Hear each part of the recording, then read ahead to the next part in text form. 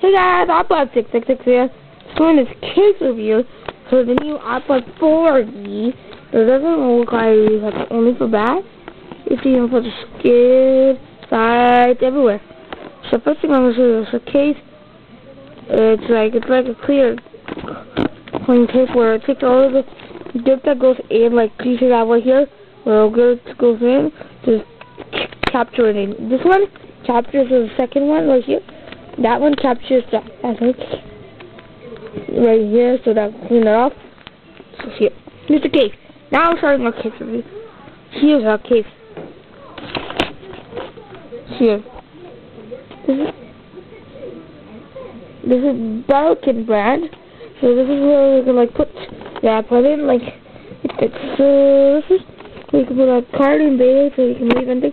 And here's the back with the camera for the back here.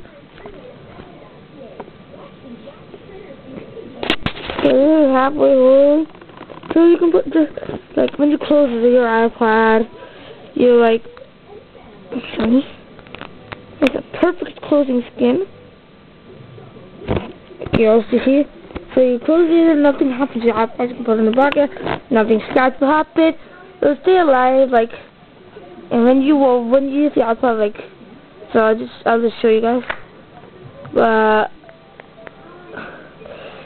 my you see all the scratch the scratch this came from all my old because before I got this there was a lot of scratch. When I got it zero percent scratched. Yeah no zero percent scratched just like plastic but good for your iPods and you can find this one anywhere and like you can find it in larger for the cell phones the iPhone too.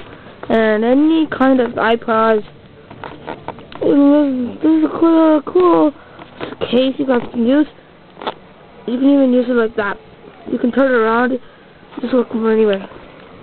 So thanks for watching this iPod case review that I showed you guys. See